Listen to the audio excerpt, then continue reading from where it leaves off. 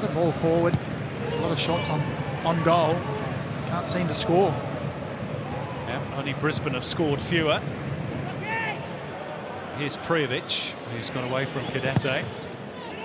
And crosses in towards Noah Botic, who's in such good nick at the moment. Couldn't keep the header down. Breaks here for Botic. Doumbia. Flicks it out towards Garuccio, and that's time. And it's not a bad delivery, and another header that Noah Botic might think he might have done a bit better with.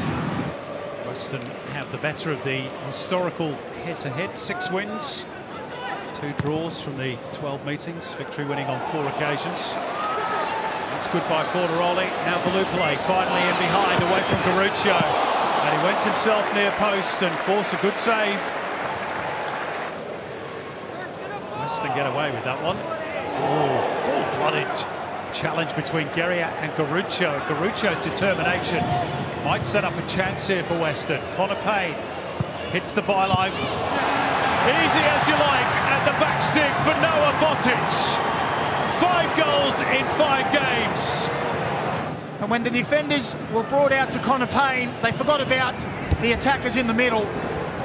Noah Botic says, thank you very much. That's five in four, and I'm loving life at the moment.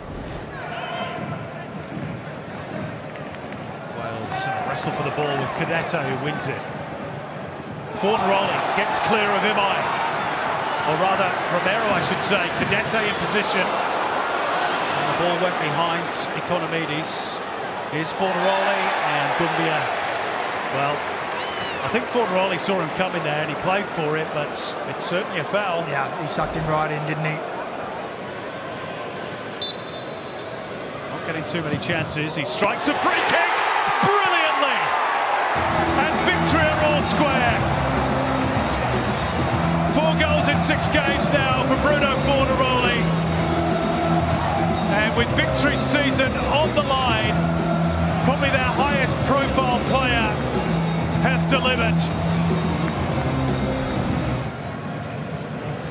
It's a lovely ball by Kilkenny to pick out Connor Pain. And Prijovic steers it into the bottom corner.